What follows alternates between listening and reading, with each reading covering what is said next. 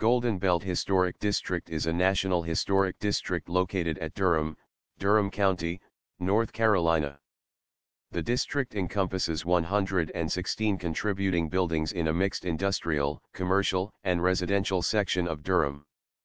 The focus of the district are the Romanesque Revival-style buildings associated with the Golden Belt Manufacturing Company plant.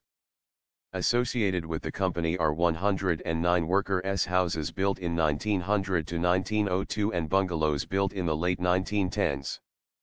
It was listed on the National Register of Historic Places in 1985, with a boundary increase in 1996.